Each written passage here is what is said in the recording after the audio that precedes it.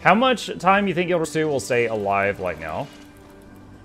I mean, many, many more years. Many more years. Dude, keep in mind that Guild Wars 1 is still up and running, and there's like nine people playing that game. I mean, EverQuest 1 is still up and running. It's got like 27 expansions. Or oh, wait, hold on.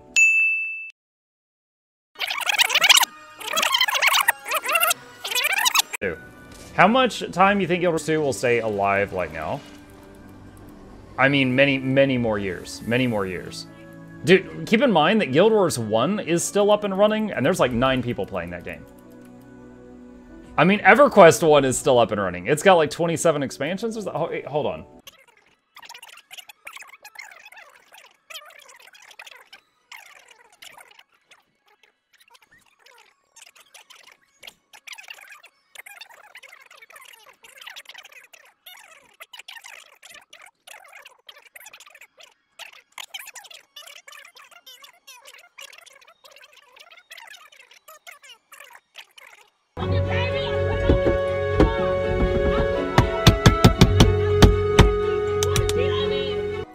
There is no good ecto gambling days. Today is buy lucky envelopes and sell them day. Wait.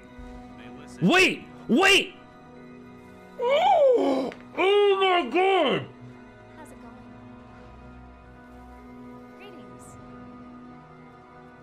Is that what I think it is? I've never gotten this before. I have done that city over 150 times. When did I get it? Is it gonna show in the oh log? Oh my god, the Right here. what? Right here. Where Dude, I had it in my bag and I opened like 20 more Oh treasure chests. top man? Hmm. Booty. Oh, mm. I'm a potato. Wow.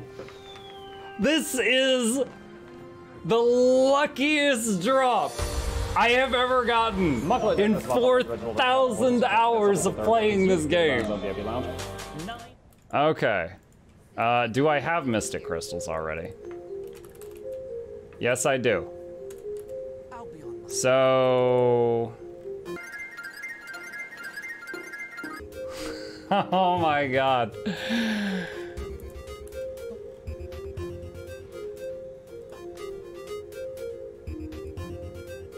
There's only three on the trading post right now.